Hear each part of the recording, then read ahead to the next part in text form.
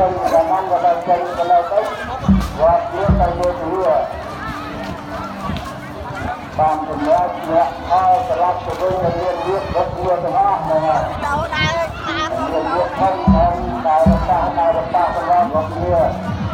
បានមានហ្គេមកំភ្លេចមកទៀតតាមក្រោយអរគុណព្រះអង្គសូមមានមានដល់មកហ្នឹងអរ ហើយមកគឺមិនចាយទៅលើព្រោះនេះចង់ប្រយ័ត្នផងបាទតែក៏អស់វាល្អទៅហើយស្អាតទៅគឺស្អាតដែរហើយជួយបកការវត្តឲ្យបានដូចទៅលើឲ្យអពុយើងឡើងឡើងមកវិញមក